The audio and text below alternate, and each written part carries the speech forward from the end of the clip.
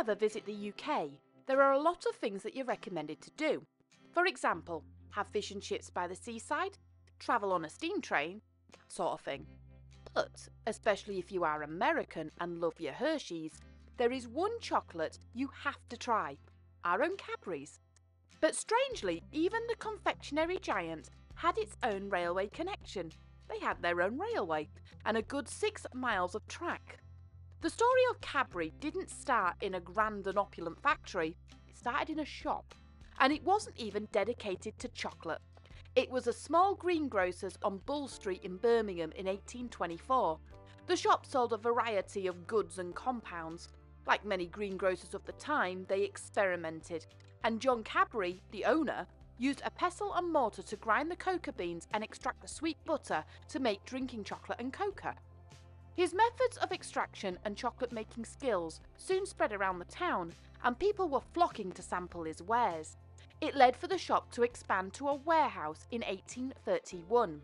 He worked hard for 16 years, selling cocoa and teas, but once again his warehouse was proving too small for the demands of the customers, so the first factory on Bridge Street was created. In 1861, John passed the business to his sons George and Richard, and they knew the need for more expansion. Also, they wanted to get out of the tea business and focus solely on chocolate, its largest seller. They settled on a patch of land near the town of Bournville, and in 1879, ground was broken on a brand new factory. Earlier that year, the brothers bought land and the estate next to the Stirchley Street station. The estate was renamed to Bournville. They also planned something that only a very few factory owners ever did. They built a model town.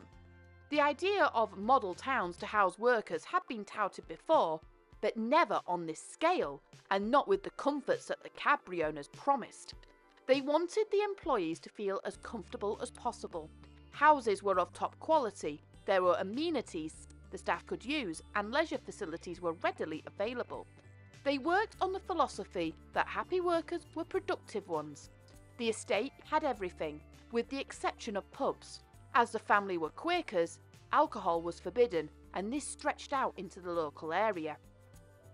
To get both raw materials and finished products both in and out of the factory, the company relied heavily on horse and cart to move the materials to either the canal wharf or the new goods yard at Lifford. But the fledgling factory quickly outgrew the horse and cart, as well as with the railways at its peak, it only made sense to build a factory line to move product quickly. The first line built was just to replace the horse and cart and ran to an exchange siding along the Midland Line. It was run by a solitary locomotive. It was fine in principle, but continuing expansion of the factory meant that the railway was going to need a larger upgrade. Its upgrade came at the turn of the century. The station got renamed to Bournville, six miles of track were completed, and its fleet had increased to four. Three new engines came in from the Dick Kerr and Company Limited of Kilmarnock. They were small, slow, but extremely strong, and of course, Cadbury made it known that they were proud of them. They were soon joined by Avonside's 040 tank engines. These were a bit more powerful than their older predecessors, but they were perfect for the tight bends and could go within the factory itself. A bridge was built over the main line to take the goods and to waterside warehouses. It was a rather busy railway with three scheduled outbound trains every day, six days a week. Sadly, the Dick Kerr engines were commandeered for the First World War effort and were written off and scrapped sometime during it. After the Second World War in 1949, Hunslet number 1949 and Cadbury number 9 joined the fleet. It was described as a tidy, neat engine, and when it arrived at the factory, it was merged into the fleet with a new chocolate brown livery and Cadbury lettering.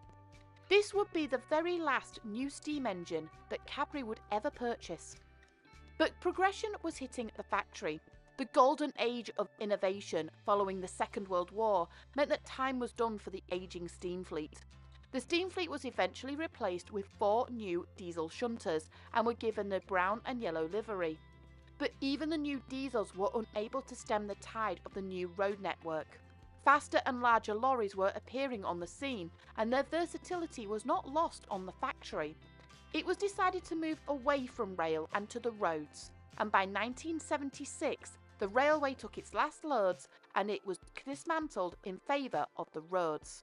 While the only real piece of infrastructure from the railway that remains is an old railway bridge, some wagons and even engines have survived.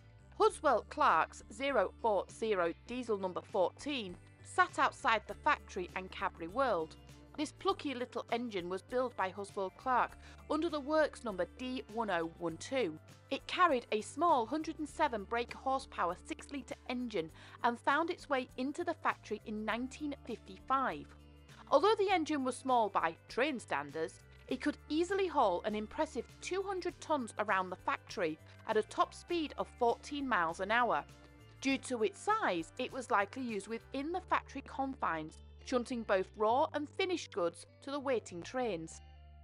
After its retirement in 1977, following the railway's closure, it was decided to preserve the engine and it was sent to the Langdon Railway, where it enjoyed a few more years of operation.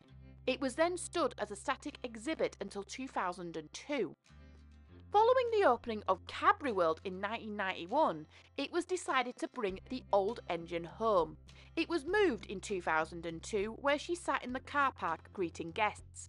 She was moved to various sites before getting resituated back in the car park at the entrance.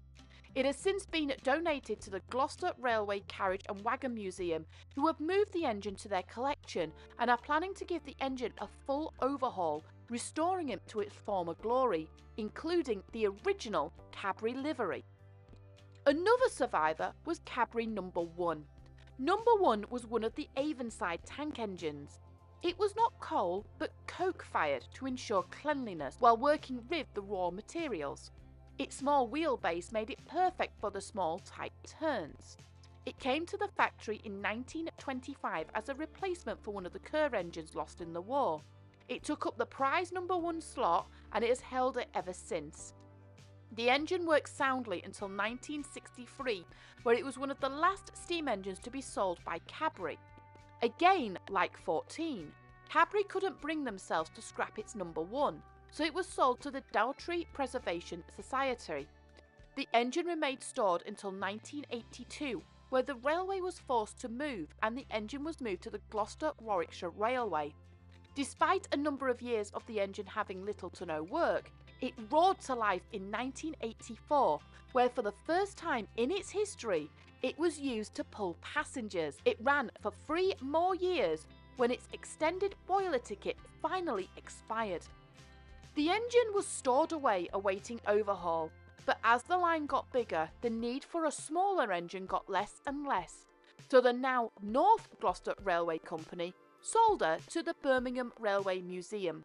The museum needed a small shunter, so she was overhauled ready to run again.